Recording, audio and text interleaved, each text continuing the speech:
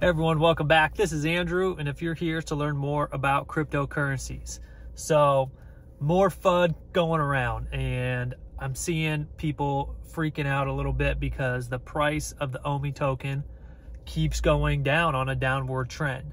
And even after the last drop, it has continued to go down, and it's freaking a lot of people out. So, I want to kind of give some perspective on this and also kind of just wrap up the the first season of the VeVe drops to see how bright our future really is with this token. So, as you may have known and may have seen, and hopefully we're a part of, the Cryptkins drop was potentially going to be their last one of season one.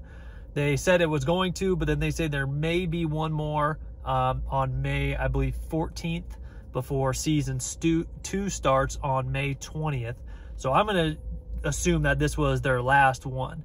And because of that, I wanted to recap just season one and all the drops that VeVe did and, you know, see what big names we have.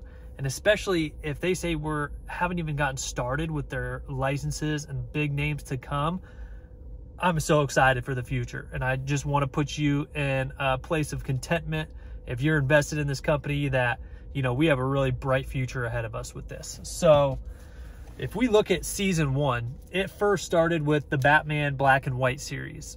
There was the very first series of the Black and White that was number one. They mixed in some other the the series. There was four series total, but we had Batman as part of this first season. We also had the the Harley Quinn Batman series as well. Adventure Time. There were two drops the DC Bombshells, the Powerpuff Girls, Unicorno. I'm not familiar with it, but I see them selling for a lot of money right now. So congratulations if you got one of those. Back to the Future, the DeLorean, the one that we were all waiting for to really see the first really animated ones, which is really neat to see. Ghostbusters, the two drops, uh, Ultraman, two drops, and then the very last one of the season one were the Cryptkins. And I got to brag a little bit. I got my first ultra rare Cryptkin and I'm excited, especially it's only 15 bucks. Only 2,800 of them were dropped on this series.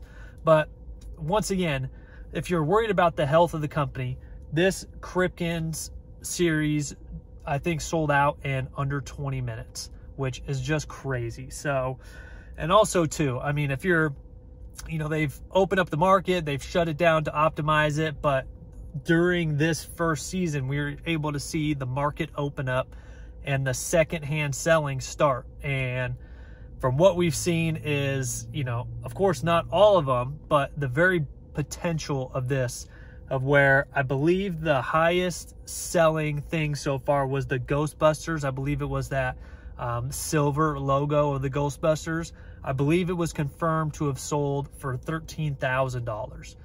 Now think about it. They were expecting to be at 15,000 users by this point. They're over, I believe, a quarter million right now.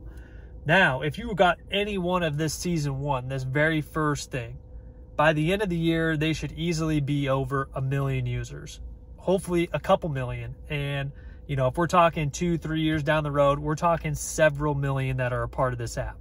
Now, if you were the, one of the ones who got one of these where, you know, they only drop 2,800 or 5,000 or even 9,000 of them. And now there's 2 million, 3 million people trying to buy these on the second market.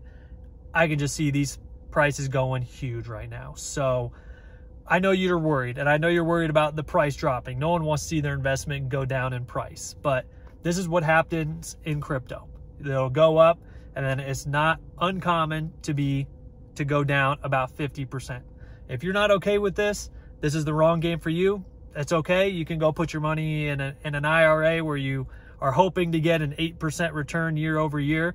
If you want to look to double, triple, quadruple your money, then the opposite can happen as well. And you got to be okay with that risk. So I think the project of OMI behind it, the team behind it, everything about them screams that we're having a very successful future in our hands and this short-term downward trend will not be lasting very long. So if you haven't seen it as well, I believe it's uh, Jake Gagain's uh, YouTube channel. He did a, uh, a webinar with uh, the new uh, I believe the content creator for VeVe. His name is Trevor. And that gave me a lot of insight on just what VeVe's doing, kind of their, their roadmap in terms of con content creation, and just what's possible down the road with their NFTs. I'm not on the development side of things. You know, I'm just a fan, uh, an investor in this stuff. So it was really cool to hear some of the technical things that, you know, what's possible and really what's not possible with NFTs. This VeVe verse that everyone keeps talking about is really exciting. You know, Trevor's explanation of just how much, you know, we can go and how far we can go with this stuff is really cool, especially since he came from the gaming side of things.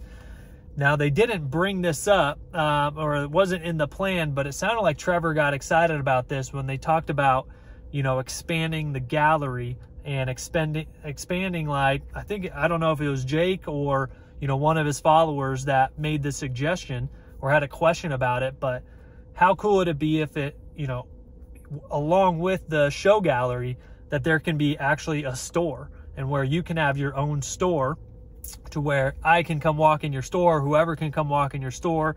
You have your collectibles there, you have the price you want to sell it, and I can buy one of your collectibles right there as I'm like looking in your showroom. So where I can offer a price to you or something like that. So I thought that was a really neat concept, but you know, really just um, if this was season one and this was their first initial before, you know, a ton of people got onto the app and now we're talking about season two, where we have, you know, more exchange listings, plural, you know, uh, possibly a Binance, possibly another decentralized exchange, things like that.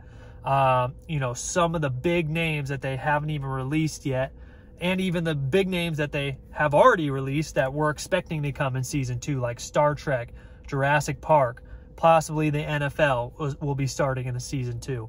I'm super excited. They're growing at an exponential rate.